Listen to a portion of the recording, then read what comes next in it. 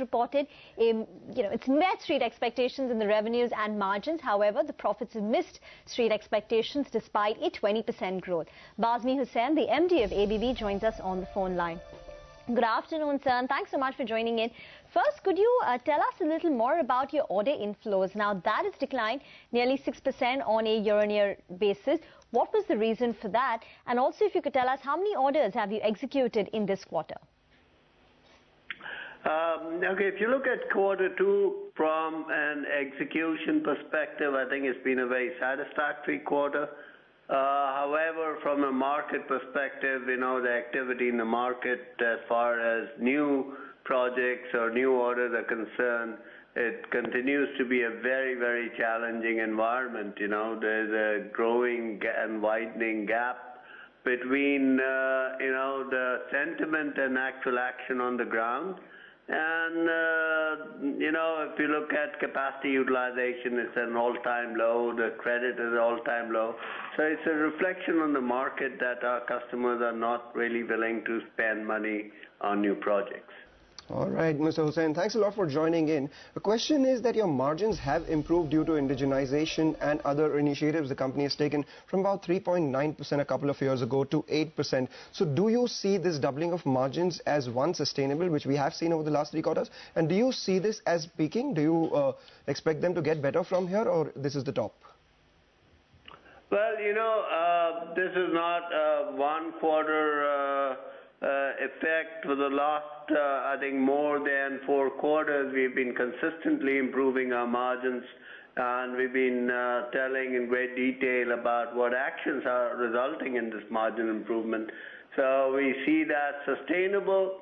As far as growth is concerned, I think um, really we're waiting for the market to turn around. As the market turns around and the volumes pick up, uh, clearly the potential to do uh, better and potential to do more exists. So considering the challenging environment, it's quite likely that growth for FY16 will be in single digits, sir? Well, we're not, I'm not going to talk about, uh, as a rule, we do not talk about, um, you know, uh, future and uh, predict that. Uh, but what we will say is that we will grow and grow better than market. All right, then. Could you then give us a sense of what's been wrong with the power systems and power automation uh, segments of the company? Because we've seen the top line or the sales on that one declining. Even the margins on that have been falling off. Well, the the two are related. If you take power systems, you know, you're dealing with a lot of customers with very, very stressed balance sheets. Uh, and uh, for the last several quarters, several years, actually, we have a mantra of uh, saying that we will put cash over revenue. So this quarter alone, we had, uh, let's say, um, in excess of 150 crores that we held back where the equipment and everything was ready, that we held back and did not uh, ship out because the payment mechanisms that were um, there according to contracts were not in place. Uh, so um, it is clearly that it is not uh, reflecting uh, any basic or fundamental weakness in the system. So in that case, can we expect a turnaround on the anvil on in in those these two segments? Well, you know, I mean, uh, if you if you look at uh, earlier, uh, power systems had been, you know, performing better. This year, this quarter, we see that as a quarter, um, you know event rather than uh, something which is, uh, uh, you know, indicator of things to come. Okay.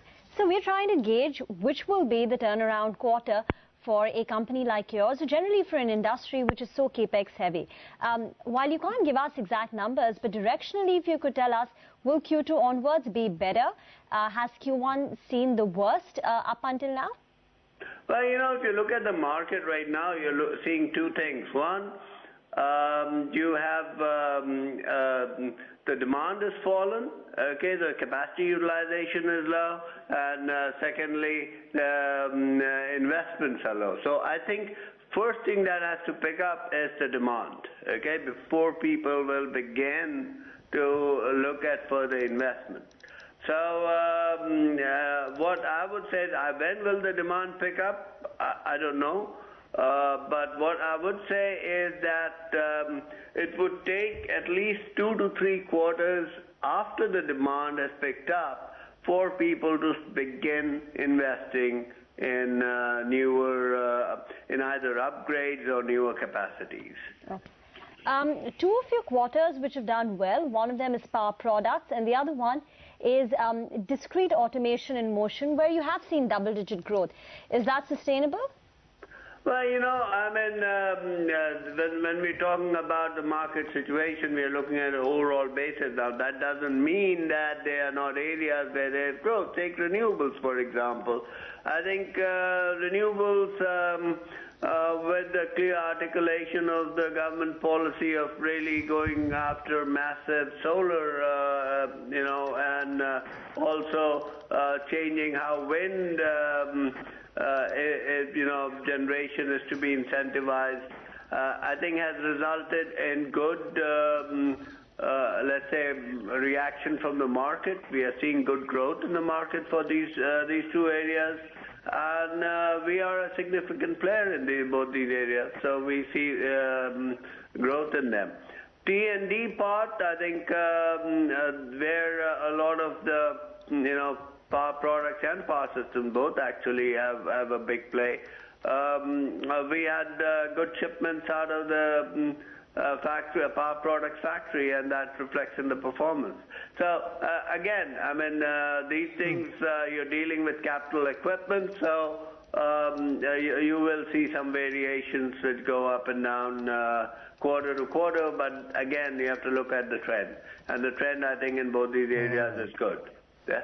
All right, Mr. Bazmi, thanks a lot. We'll leave it at that. Thanks for giving us the perspective. That was Mr.